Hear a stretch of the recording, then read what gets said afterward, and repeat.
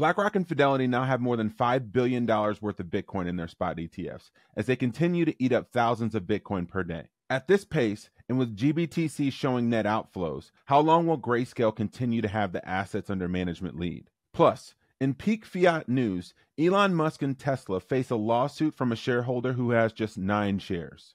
Interest payments on U.S. debt surpasses defense spending annually. And finally, we examine the eroding trust in our institutions globally and the only viable solution exiting the system. Welcome to the Thursday, February 1st edition of the Bitcoin ETF Daily Show. I'm Dante Cook, head of Swan Business. In this show, we discuss the latest news, events, winners, and losers, and key information surrounding these historic Bitcoin ETFs. Here at Swan, we're on a mission to educate the world about Bitcoin. So please like this video and subscribe to this channel to help us cut through the noise here on YouTube. Since our last video, the two giant asset managers, Fidelity and BlackRock, have added a cool 10 figures worth of Bitcoin. This gain shows just how quickly Wall Street is catching up to Grayscale's legacy Bitcoin fund. Although these Wall Street funds are scaling fast, BlackRock and Fidelity's funds combined are still about four times smaller than GBTC's fund. At the moment, the competition between Fidelity and BlackRock is like the divisional championships to be the world champion, one of them is going to have to beat the final boss, which these days is looking like, but to be the best, you have to beat the best, even if they have dad bodies like Patrick Mahomes and Tom Brady. And why was Bill Hader's son in the locker room? Back to flows for a second. Yesterday was another strong day for ETFs, with an estimated 4,524 Bitcoin being purchased for roughly 198 million of inflows. And another great visual from Alessandro on Twitter we can see GBTC's outflows are flattening and only having about 188 million in outflows yesterday. BlackRock was the winner yesterday, seeing about double the flows over Fidelity, with 299 million compared to Fidelity's 119 million. In other news, our first story is peak fiat. One person with nine shares, you heard me, nine shares, filed a lawsuit against Elon Musk and Tesla. A judge ruled to strip away over $56 billion from Elon Musk. Although he hit his targets and the compensation package was approved by shareholders and board members. And don't forget the fact that he added over a few hundred billion dollars to the market cap of Tesla during that window. 80% of shareholders were in favor of the compensation plan, and the judge ruled against their will. This is an example showing that when you operate within the existing fiat system, you have massive counterparty risk beyond your control. In this case, the risk of arbitration. People who you did not vote for or elect are having a direct impact over the wealth that you're able to attain and amass. Like Jack Mallers recently said, there are two ways to express power in this world voice and exit. When voice is no longer sufficient, you have one option exit. Exit. Get out. Goodbye.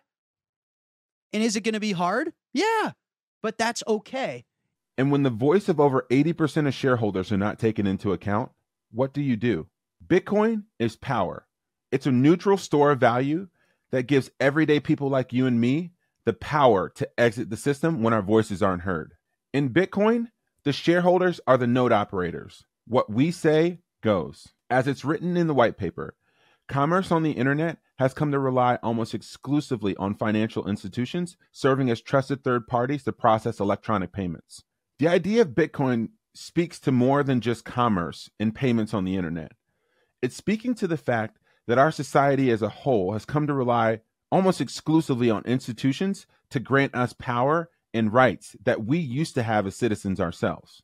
Events like these are quickly eroding trust. In another instance of eroding trust around the world, two of the largest economies in Africa are under huge financial strain. Nigeria devalued the naira by over 30%, the second time in the last eight months, with Egypt under pressure to devalue its currency as well. In both cases, the government didn't ask the people for their permission to dramatically reduce their purchasing power or their living standards. Currency devaluation is a crime against people and it's caused by central banks and the mixing of the state and the money. The central bank system that we operate under today, right? If you can print money that everyone else is forced to use, you're effectively confiscating their time. So while it's a less overtly violent and visible system of time theft, it is still it's the same type of mechanism essentially. We're talking, I think the numbers were 23 and a half billion hours stolen per year for the past 40 years by just the Fed. So how much human time was the Fed printing essentially?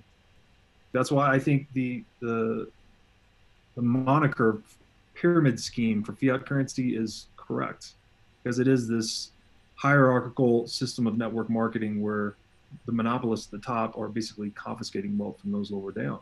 And to me, it's just the, the deeper I look, the more I see Bitcoin as something fundamental to breaking this habit, if you want to call it, of people enslaving people. People believe that Bitcoin and cryptocurrencies were designed to replace currency. They weren't. They were designed to replace institutions and mainly our banks. Back to the US.